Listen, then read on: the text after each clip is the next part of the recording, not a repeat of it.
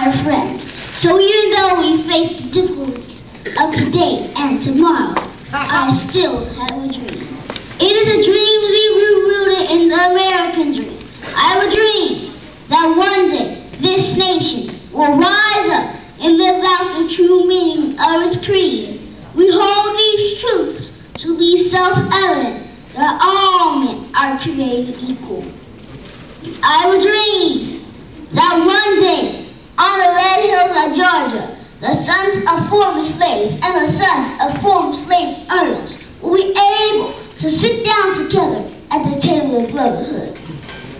I a dream that one day, even the state of Mississippi, a state sweltering with the heat of injustice, sweltering with the heat of oppression, will be transformed into an oasis of freedom and justice.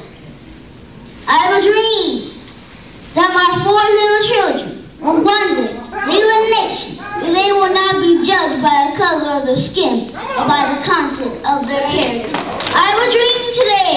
I will dream that one day, down in Alabama, with his vicious races, with his governor, having his lips dripping with, dripping with the words of interposition and notification. One day, right there in Alabama, little black boys and black girls will be able to join hands with little white boys and white girls as sisters and brothers.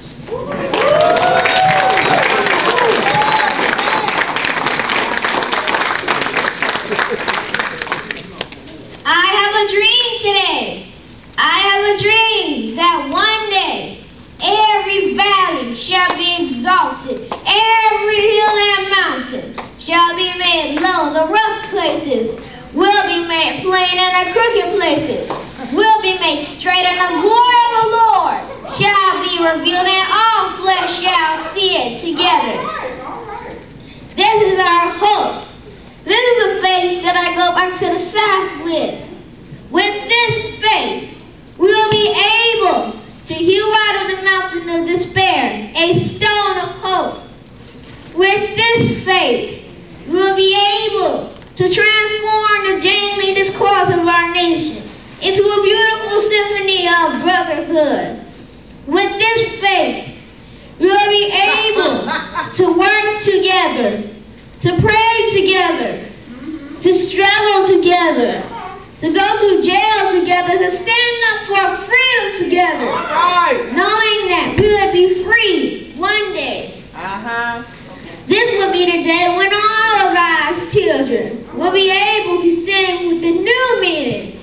My country, tis of thee, sweet land of liberty. Of thee I sing. That when my fathers died, land of the pilgrim's pride. From every mountainside, let freedom ring. And if America is to be a great nation, this must become true. So let freedom ring from prodigious hilltops of New Hampshire. Let freedom ring from the mighty mountains of New York. Let freedom ring from the hiking Alleghenies of Pennsylvania.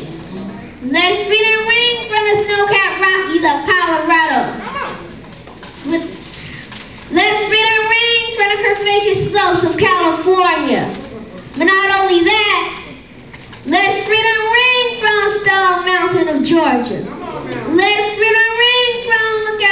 Lookout of Tennessee. Let freedom ring from every hill and molehill of Mississippi. From every mountainside, let freedom ring. And if America is to be a great nation, this must become true. So let freedom ring from every village and every hamlet, from every state and every city.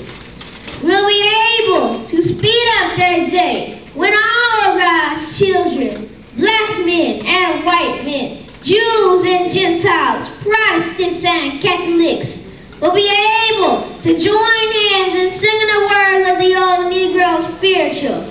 Free at last, free at last,